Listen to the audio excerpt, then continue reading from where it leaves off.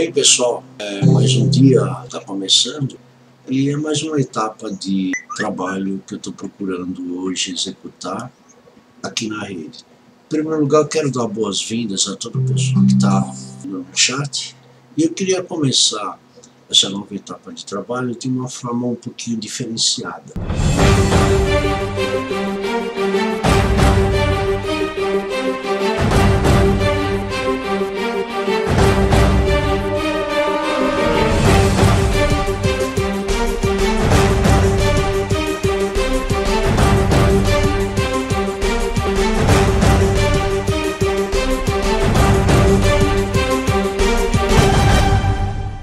Então, gente, é isso que deveria todo mundo hoje fazer no planeta Terra, acordar.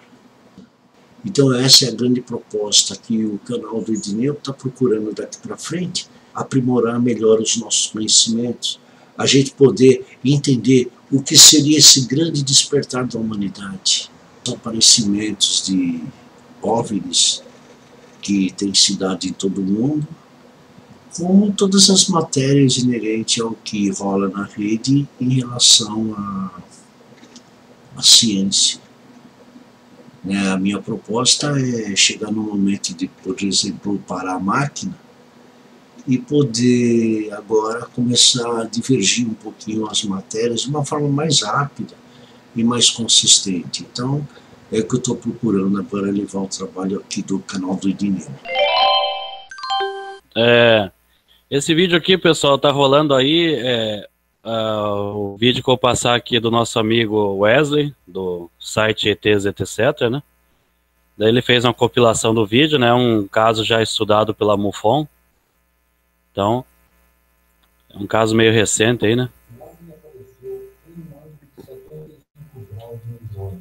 Era muito maior em tamanho ao entrar na atmosfera e projetar-se suavemente mas voou rapidamente em um ângulo de 45 graus em direção ao oceano, à medida que diminuía seu tamanho.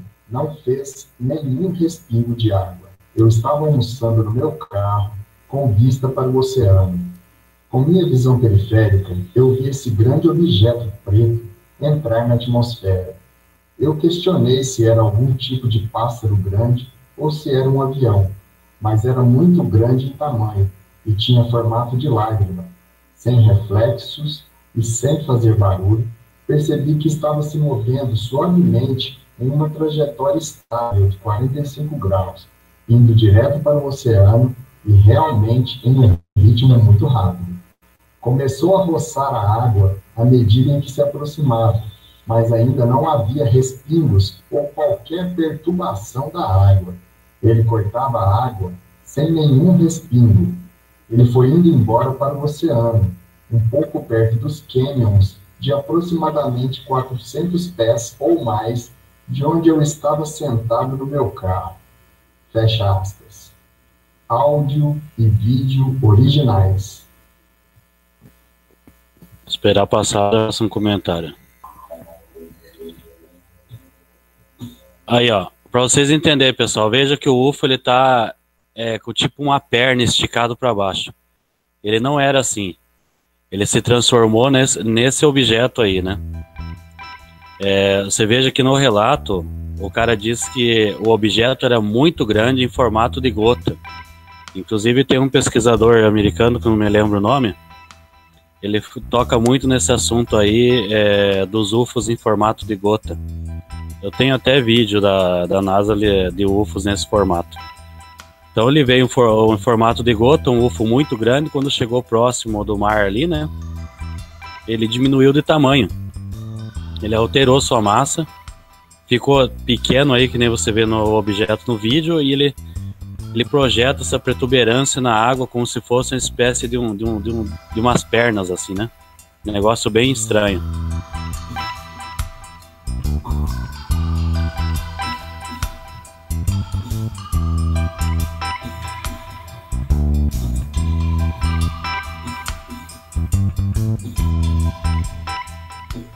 olhando assim, parece que dá a impressão de alguém correndo na água, né?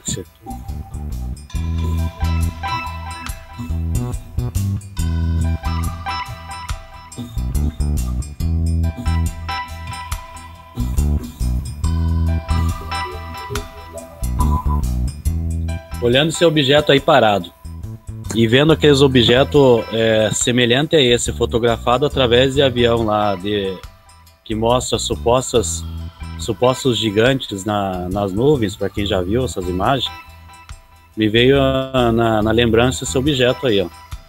Será que eu não seria o mesmo objeto ou semelhante que realizou essa transformação né? É, alterou sua forma? E tirando essa foto, essa imagem de longe da impressão do corpo, né, a silhueta de uma pessoa.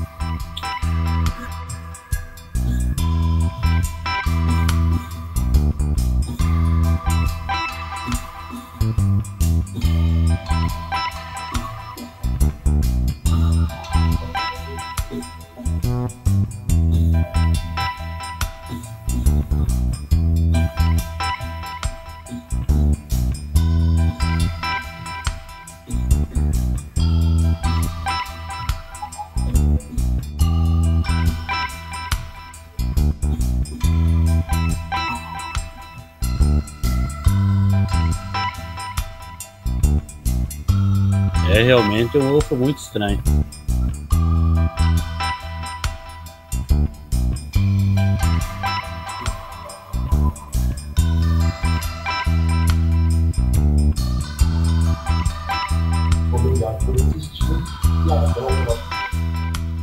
Vou pegar aqui para quem não conhece essa comparação que eu fiz, né?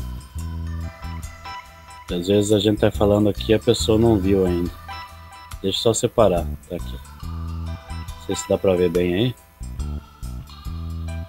Aí, né? Tem o, o ser aí com essa aparência. Se digitar aqui, ó, quer ver? Gigantes nas nuvens. Tem várias fotos, né? Estudado pela MUFON. Tem vários casos aí, né? Tem um caso recente sobre isso aí. Então, se, aí fica a questão: será que esses UFOs que realizam essa metamorfose aí, eles não sejam os mesmos, né? Aí fica a pergunta no ar, né? Deixa eu achar aqui. Tem um vídeo recente sobre isso.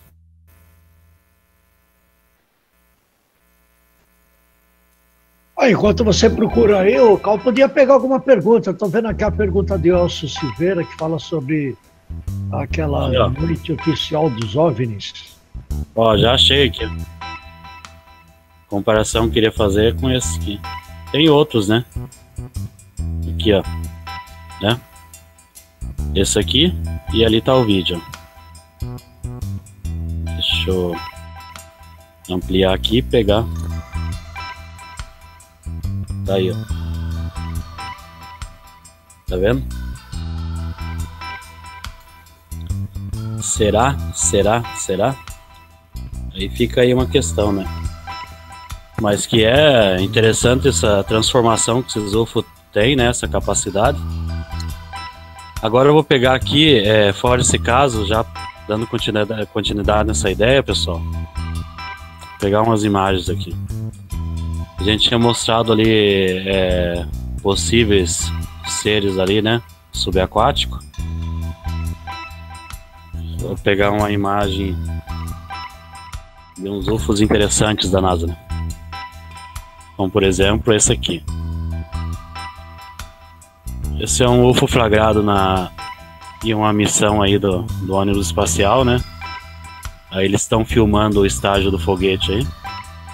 E no canto esquerdo, no canto direito, abaixo aqui da tela do vídeo, que vocês prestem atenção, vai aparecer um, um objeto translúcido em um formato bem bizarro.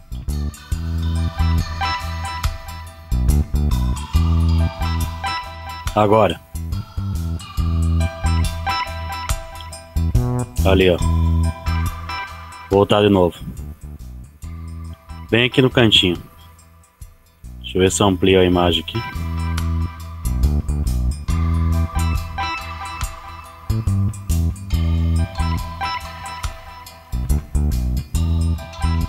Note que. Vou voltar aqui, ó. Olha que esquisito que é esse objeto. Ele tem um, um corpo, né? Espécie de um corpo, né? Em cima é mais, mais largo, embaixo mais curto e, e umas protuberâncias do lado dando a impressão de braços, né? É, as protuberâncias saem dos dois lados. É muito esquisito esse objeto. É.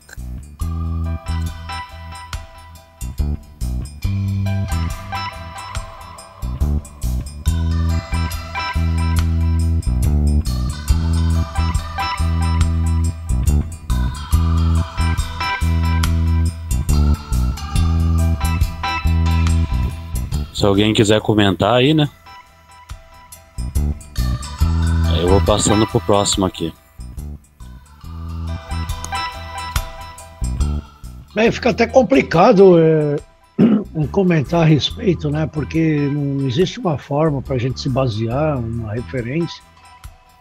É, é. é algo estranho, né? Como vai saber o que seja, né? Então, mas parece que tem um aspecto mesmo dimensional, né? Não é simplesmente alguma coisa que está por cima das nuvens mesmo, né? Interessante. Apesar que essas imagens estão meio digitalizadas, mas dá para perceber realmente que tem uma forma meio estranha mesmo. Então aí eu não saberia realmente dizer. É, mas... esse, esse outro objeto, pessoal, fotografado aí pela pela NASA, né? É, a missão aí tá aqui o número da foto, né? 11 é, 115 07 201. Aqui tá o lugar de onde eu tirei, ó. Daí, STS 115, a missão, né? E tá claramente lá, ó. Inclusive ele está em close ali, ó, para quem quiser baixar o objeto, né? A foto, quer dizer, direto do site da NASA. Então nós vemos esse objeto aqui translúcido.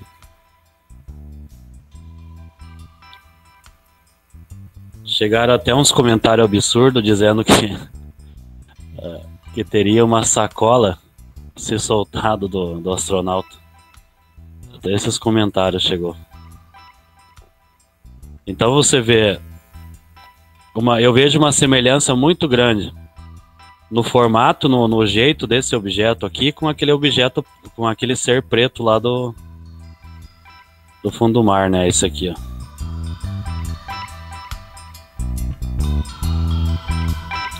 Não que seja igual, eu digo assim as características, né?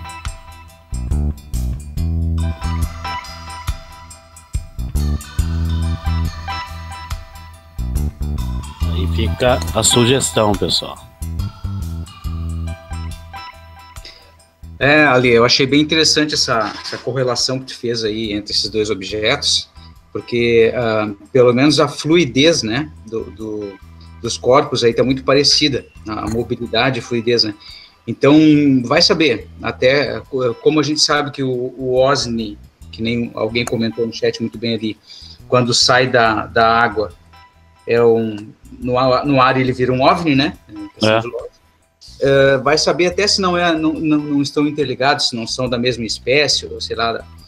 Porque esse aqui no ar foi, eu achei muito interessante, está realmente muito próximo do que esse outro aí na, na água. Né? Achei bem legal tu ter te antenado a esse detalhe. Tá, deixa eu só aproveitar aqui o, o, o espacinho aqui para comentar algumas coisas do, do chat ali. Uh, pessoal, uh, mais uma vez aí, desculpa, não estou conseguindo acompanhar todos aqui, mas assim, ó, as perguntas agora a gente vai começar a responder em seguida, umas, algumas sugestões, tá? E eu vou dar um, um, um, boa noite rápido aqui, que eu não consegui falar com cada um, já tinha falado do, uh, do Antônio, Luiz Henrique, uh, Narman, o Alex Santos, que está sempre com a gente aí, né? o Leandro Dinho, o Elcio já tinha falado, o André Gomes que mandou uma, uma, um questionamento bem interessante aqui, vou comentar depois também. Matheus Felipe, bem-vindo, boa noite. Nosso querido João Batista aí, um grande comunicador da Chave Tetra. Ah, muito bem-vindo aí, obrigado pela presença. É, deixa eu ver quem mais aqui. Ah, o nosso amigo Fernando Bernardi também. Ah, bem-vindo aí. Vou repassar as perguntas agora, pessoal. Em seguida a gente começa a falar a respeito. Continuem participando aí, deixem seu like, não esqueçam. Vamos lá. Pega aí, Edneu. Ah, o Edneu acho que precisou dar uma saída de novo. Que nada, eu estou aqui, eu estou observando aí, eu estava esperando você falar alguma pergunta aí, ou... Tá, posso, posso passar aqui alguns, alguns é, questionamentos já antes que, que então, acumulem. O pessoal está lembrando que nem o Elcio Silveira aqui, ele está falando sobre aquele relato da noite oficial dos OVNIs que aconteceu em 86, né? É, ele está dizendo aqui que ficou aparecendo por 10 dias, eu achei interessante. É que ele está falando aqui que no último dia eles entraram no mar. E diz que existem testemunhas aí de alguns que viram a nave mãe que estava lá no mar de Ubatuba. Eu, na verdade, é o seguinte, isso aqui eu não sabia direito disso, viu, Elcio? Mas achei interessante. Por isso que é muito importante vocês estarem aqui, porque cada um detém um tipo de conhecimento, e é sempre bom né, colocar aqui na bancada que a gente vai é, se entendendo, né? Vai um explicando, às vezes, determinadas coisas para os outros. É, Luiz quero... pode falar. Quero parabenizar o pessoal aí do chat, né? E, e tem um, um membro aí que está participando que eu conheço também, não sei se já participava nos outros, né? Que às vezes eu não acompanho o chat aqui, que senão fica muita janela aberta, né? mas é o Vanderlei aí. Então, Vanderlei, eu, eu, eu acho que eu sei qual é que está falando, que você, ele fez uma pergunta ali para mim, né? Da é, tal então... de, de Gladys Córdoba, né? Os tal de Ciodes, né? É. Esse, esses ovos são muito interessantes, né? Inclusive eu peguei aqui umas imagens aqui, ó. Eu já tinha visto já vários vídeos, né? Sobre esse assunto. Eu acho impressionante, viu, Vanderlei? Acho impressionante. Para quem não conhece aí, é uma sugestão também, né? Para acabar procurando aí, conhecendo os vídeos, né? Desses UFOs aí. Olha aí os formatos, Cal, dos objetos. Então, o Vanderlei, eu já convidei ele para vir aqui, por a hora que ele quiser, viu, Vanderlei? A gente tem aí contato aí no Face, é só você dar um alô.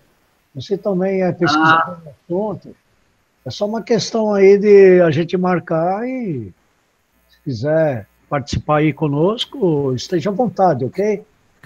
Deixa Bom, eu, na minha opinião, assim, na minha singela opinião, que eu não, eu não sou nenhum, nenhum grande ufólogo, né, que nem diz aí o pessoal, né, eu nem sei se vale muito a pena dizer que é ufólogo, né? Com esses caras aí.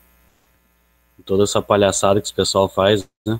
Mas é, do tempo que eu assistia alguns vídeos dessas, dessas gravações aí, Vanderlei, eu para mim eu botava fé nesses vídeos. Não sei, é, uma porque o, o vídeo é feito de dia, né? Isso é o que mais me chamava atenção. Os vídeos feitos de dia. Então, é, e tinha toda essa questão que os objetos vai voando na, na montanha e tal. É muito impressionante. É isso. Eu até queria que o Vanderlei comentasse sobre isso, né? Já que ele perguntou sobre esse vídeo aí, dessa mulher, qual é a opinião dele, se ele acredita né, nos vídeos dela ou não. Então, Vanderlei, se você quiser entrar aqui na, na, nossa bancadinha aqui, se quiser esclarecer alguma coisa, é só dar uma luzinha aí que eu mando o link para você. Você dá um pulinho aqui, fica nos conhecendo aqui. É só satisfação aí, tê-lo por aqui, meu amigo. É só você dar um alô aí que eu passo para você, tá? Então, é, continuando aqui, o que, que acontece? Tem o UFO translúcido da NASA aí, né, na foto da direita.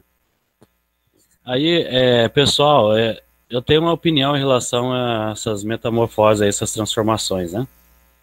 Tem um material descoberto aí pelos seres humanos chamado ferro fluido, né?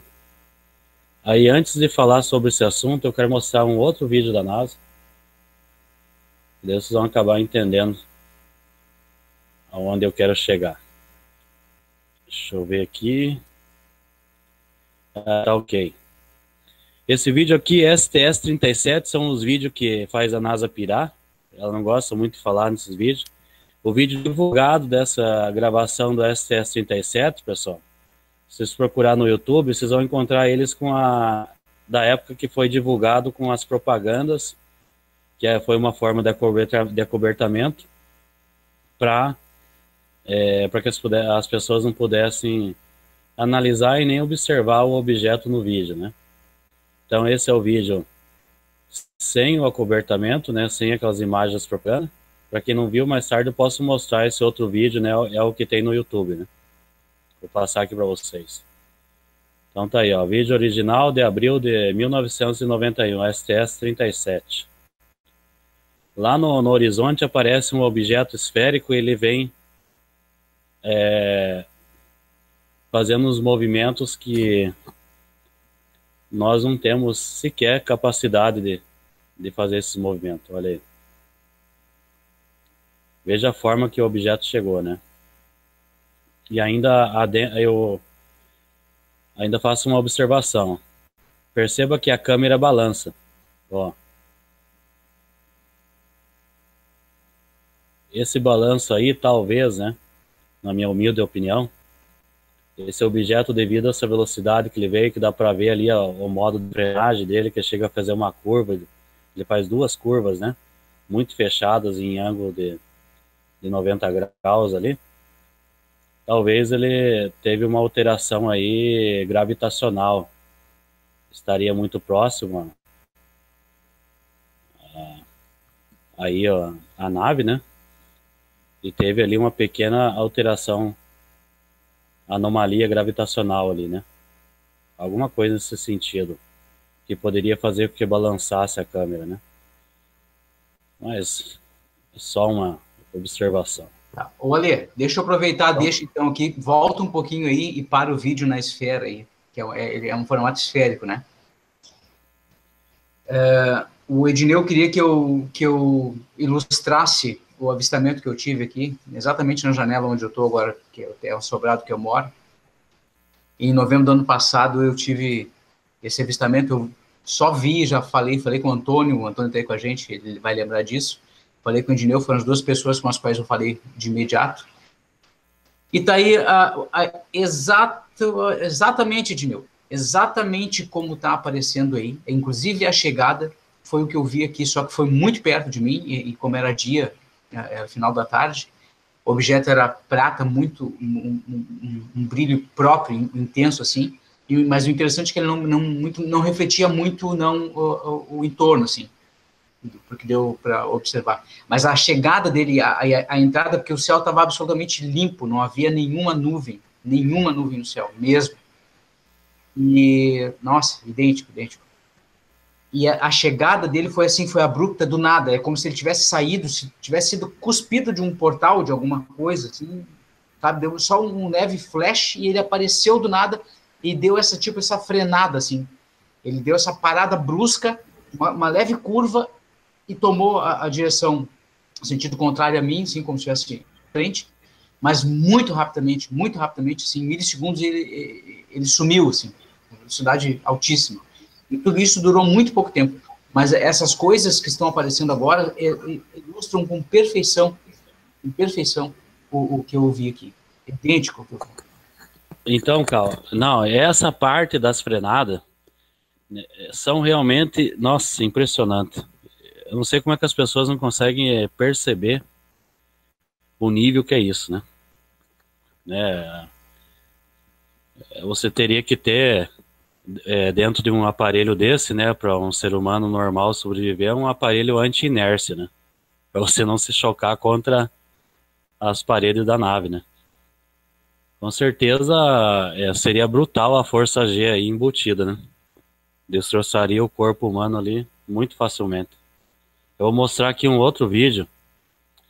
Agora, o que acontece? É o mesmo modo operante aí desse objeto, porém em um período diferente. O que, que eu falei? Pode notar aí, STS 37, é o vídeo mais antigo, 91. Aí eu tenho o STS 51, tá? STS 37, STS 51. O que, que tem de interessante? O mesmo objeto, Cal, só que numa qualidade fantástica. Olha. Ó, 91, né? Esse aqui 51. Agora veja só. Vou comentar o que, que acontece aqui, ó.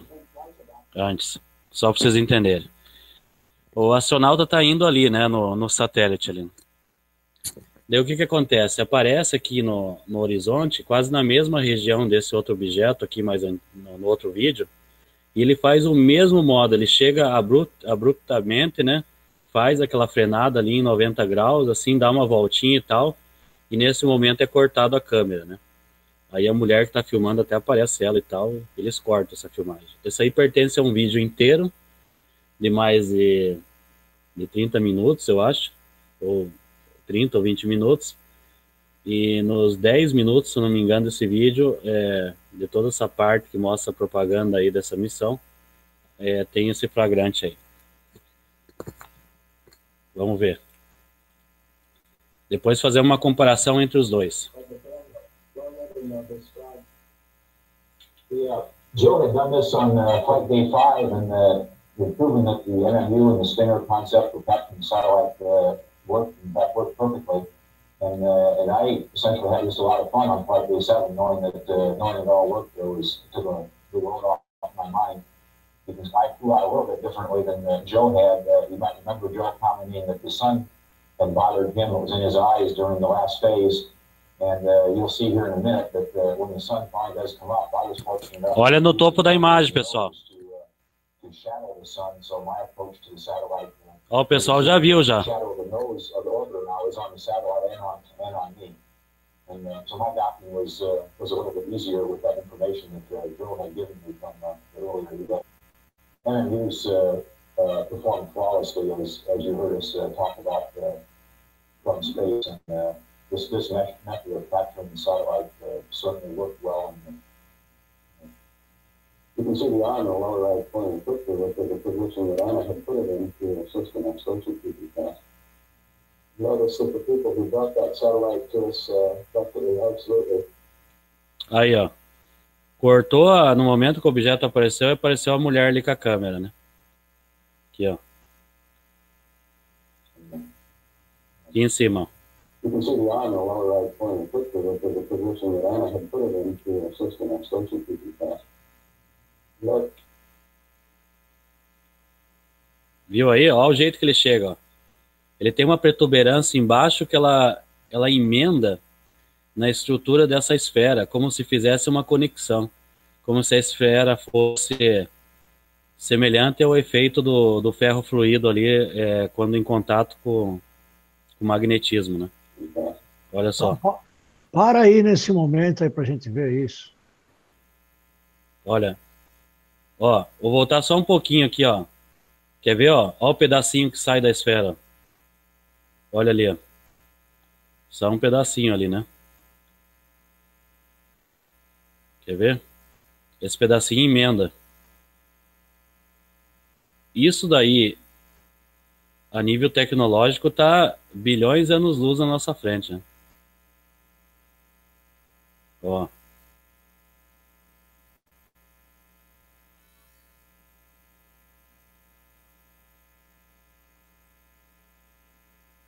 Ele, ele emenda tão perfeito, semelhante àquele efeito do. Não querendo ir assim para um lado meio fantasioso, pessoal, mas é fazer o quê? Nós não temos muita ferramenta para poder avaliar essas coisas. Né? Quando fala do mundo é, extraterrestre, das possibilidades, nós temos que realmente entrar num patamar de, de visualização além do que a gente pode aceitar dentro da racionalidade. Então você pega, por exemplo, o Exterminador do Futuro, aquele efeito que que aquele aquele homem lá que derrete e depois aparece em formato de silhueta de, de, de ser humano e tal, né? É um efeito semelhante a isso que está acontecendo aqui, pessoal. O objeto vem em pedaço repartido, ó, e ele emenda, ó. Aí fica a esfera perfeita. Look,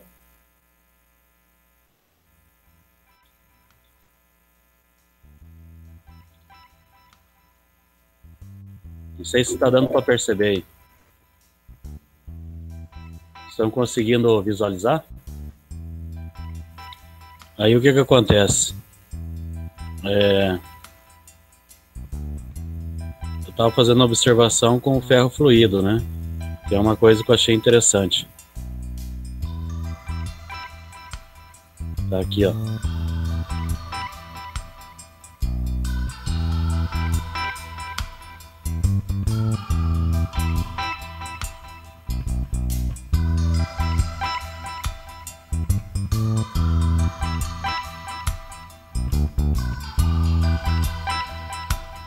Será que os objetos não usam a mesma característica?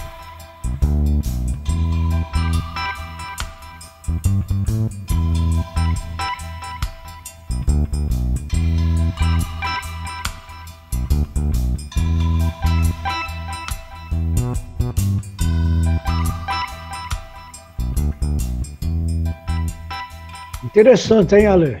Interessante mesmo. Você tem alguma coisa para falar mais sobre isso aí? É, esses testes em ferro fluido, né? Tem bastante vídeo aí na web, né, mostrando que eles alteram o formato, né? Há uma alteração do. É, fazem ele tipo, formam uns desenhos diferentes e tal.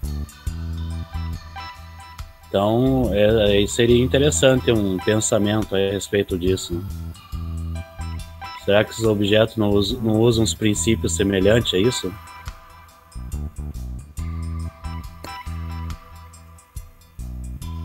O que aconteceu com o Cal?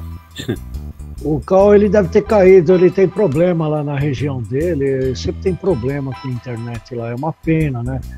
Por isso que inclusive ele às vezes não costuma abrir a câmera dele por causa disso, porque o sinal dele é muito baixo.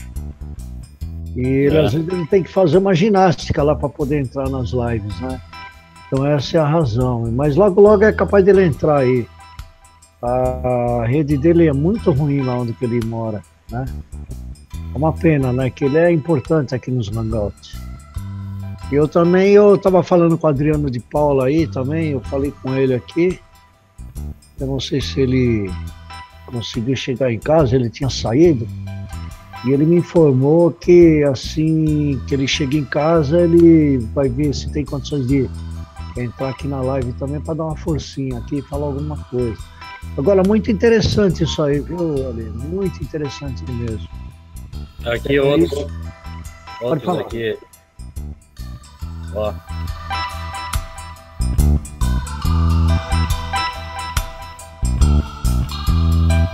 Olha aí, ó. Os efeitos incríveis, hein? Muito legal, hein? E adivinha pelo quê? Pelo magnetismo. Pelo magnetismo. E adivinha qual, e adivinha qual é a proporção dos UFOs?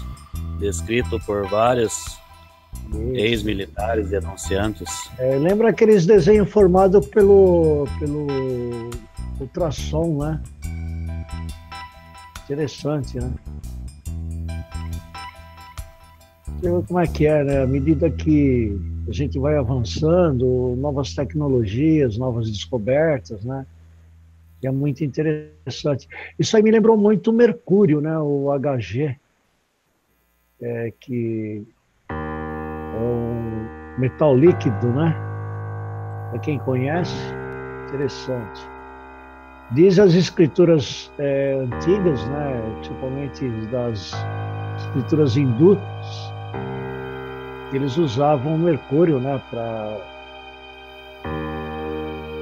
para movimentar os vimanos, né, na, os vimanos Sim. antigos, né? Então, é interessante, né? É, pode ser que eles tenham descoberto aí uma forma de através desse potente magnetismo que com certeza essas naves emitem, né? Essas naves devem emitir um magnetismo tão extraordinário que teria a possibilidade de causar esse efeito, né? Sim. Alterar seu estado de matéria ali. Então, vai saber, né? Até que ponto. Mas é uma coisa que é possível. Esse que é o interessante. É uma coisa dentro das possibilidades.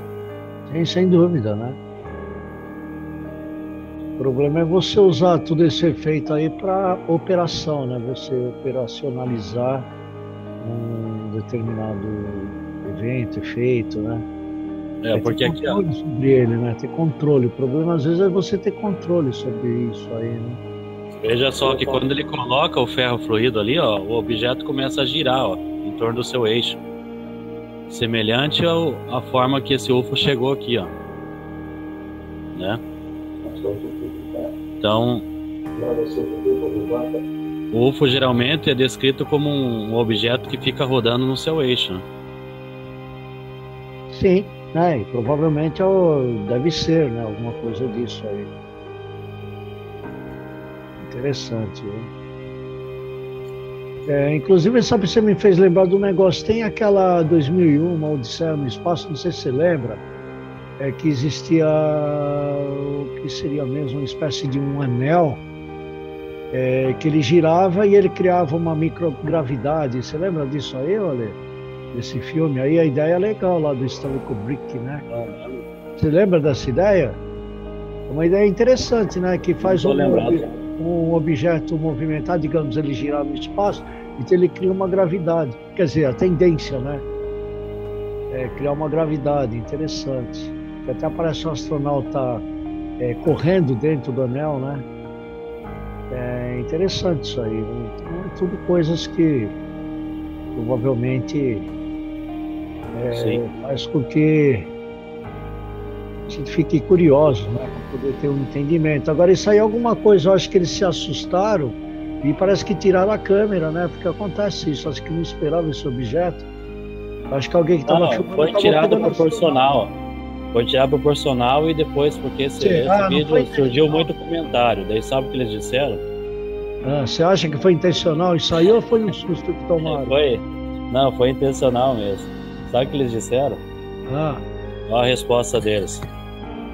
Eles falaram que isso aí foi uma gota d'água na câmera. é, pode ser, né? Mas não, não tem nada a ver a gota d'água. Não, mas foi a desculpa que eles deram, entendeu? É, é a mesma coisa que você mostrou aquele objeto no outro semelhante. O que eu notei, aquilo é gigantesco, não é grande pra caramba, não é coisa pequena, não. E esse aí também não parece ser coisa muito pequenininha, não. Não é uma gota. Porque você não sabe, Dinel. Vou te contar um caso aqui, ó. Ele desapareceu da internet. Talvez o Vanderlei, que é um cara que pesquisa muito, ele deve saber desse caso. É, né? Teve uma vez, eu não sei qual missão que foi, STS, alguma coisa. é, os astronautas estavam dormindo, né? E nesse momento a, a estação espacial estava passando em cima do Amazonas. Aí um UFO, que não vou nem falar UFO, uma nave, uma baita de uma nave, cara, maior do que o estado do Amazonas, cara. Ô, louco. Ou quase, ou quase o estado, sei lá. Aquele trem saiu, eles estavam passando em cima do Amazonas, né? Da região do Brasil ali, bem em cima, e ele tava todo nublado. Aquela coisa saiu da região do Amazonas, assim. Mas um monstro acima de um disco. E atravessou aquelas nuvens e, e foi, né? No sentido de que a, a, a estação espacial estava indo assim, por exemplo, vamos dizer assim, estava indo num sentido assim, né? E o, o UFO saiu e foi no mesmo sentido, né? Que tava a câmera. Então, é, não pôde filmar mais porque ele ultrapassou a câmera, né? Aí, sabe o que, é que eles fizeram?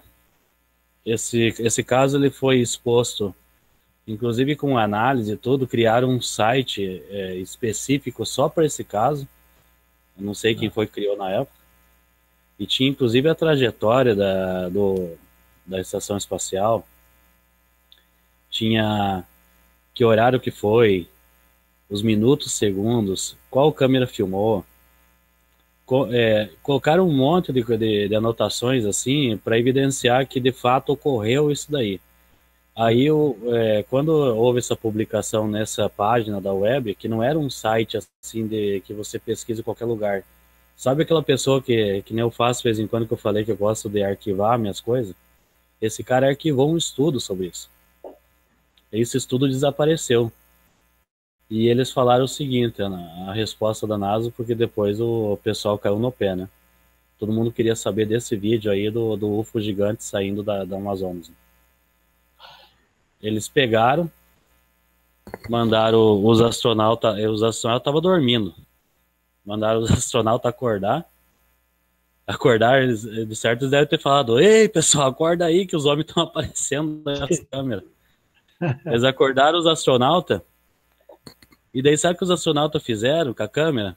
É. Eles jogaram contra o sol e ficaram tentando criar o efeito do disco em cima da, das nuvens. Ah, entendi. Só para poder enrolar. É, tipo assim, eles jogaram a câmera na frente do sol, daí cria aquele reflexo, né?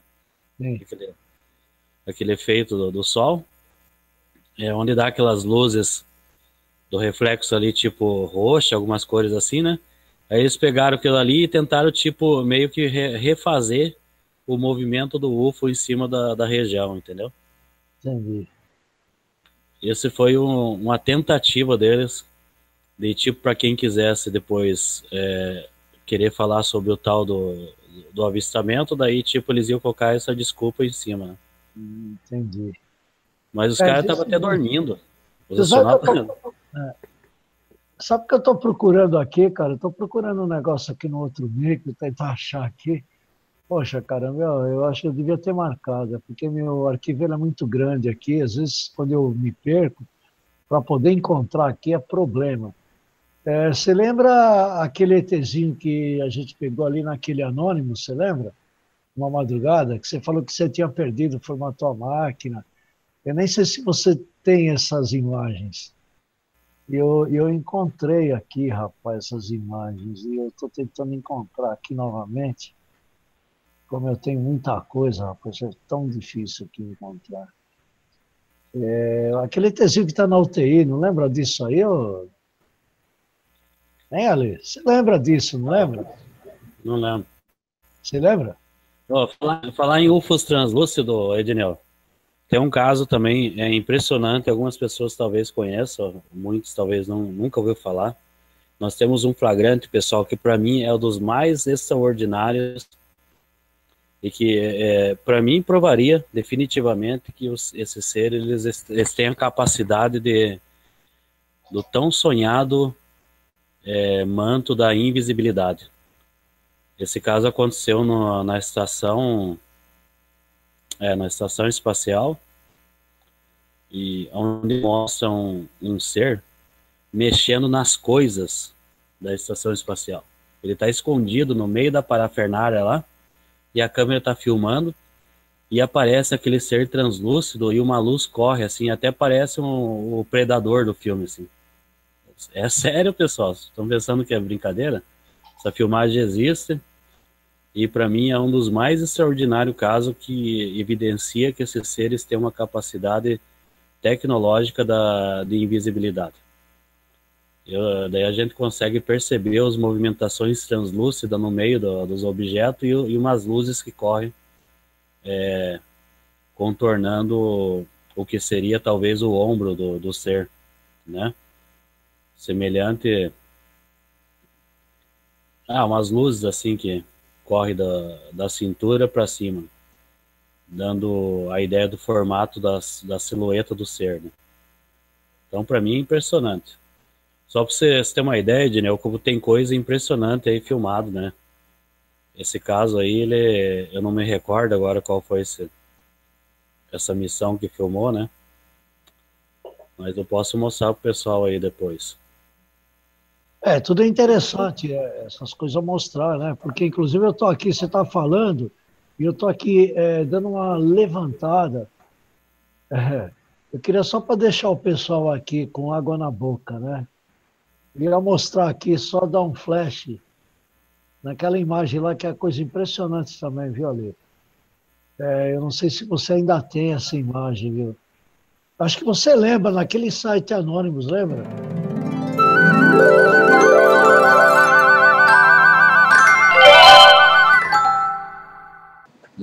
Então, essa é a grande proposta. A gente está iniciando praticamente o segundo semestre do canal do Edineu, né? completamos já sete meses que estão no ar. É, nós viemos aos pouquinhos delineando determinados caminhos para tentar encontrar um, um, um, um caminho, né? ainda andando um pouquinho no escuro, tentando ver o final do túnel, né? uma luzinha lá no final do túnel. E a gente chegou no momento que eu acho que já está na hora da gente começar a levar com um pouco mais de seriedade o nosso canal eu vou procurar daqui para frente colocar, a, ou dar o melhor de mim, né? eu vou procurar ser mais assíduo, é, ser mais eloquente, né? e procurar trazer matérias interessantes e de âmbito também de todas as áreas, né? porque a minha ideia é estar tá sediado disso, eu não, eu não consigo separar, por exemplo, outras matérias é, que não seja é, para dar um reforço ao estudo da ufologia, que é o foco principal é, do nosso canal. Então, de qualquer forma, eu agradeço a, a todos vocês que me acompanham, agradeço as pessoas que estão acreditando no canal, né? É, agradeço as pessoas que colaboram com o canal, porque muitas delas colaboram, tenho meus amigos de bancada, aquelas pessoas convidadas, o pessoal que também acompanha no chat. Então, o que eu posso dizer, gente, é que é um prazer enorme estar é, podendo ter a oportunidade de executar um trabalho assim na rede, um trabalho de comunicação, eu também estou aprendendo. E é claro, eu sempre vou me desculpar pelas minhas falhas, né? falhas, de, falhas de conduta, falhas de apresentação, é, falhas até é, de, de, da manipulação, até da nossa literatura, né? que às vezes eu posso me enganar, acontece muito. Né? Mas de qualquer forma, a minha intenção é sempre preservar e trazer sempre o melhor é, para vocês, é, evitando o máximo ter falsidade, fakes, né? alguma coisa desse porte aí, que não é a ideia do nosso canal. Eu não quero perder o tempo é, com isso. E o que eu posso fazer é agradecer no momento né, e dar parabéns a todos vocês que me acompanham. Eu espero estar cumprindo é, com algum resultado para vocês, né, que vocês esperavam. E o que eu posso dizer é perdoar as minhas falhas e vamos aguardar que daqui para frente a gente possa realizar um excelente trabalho, tá bom? Muito obrigado a vocês e como eu sempre digo, um beijo no coração de cada um de vocês. Muito obrigado.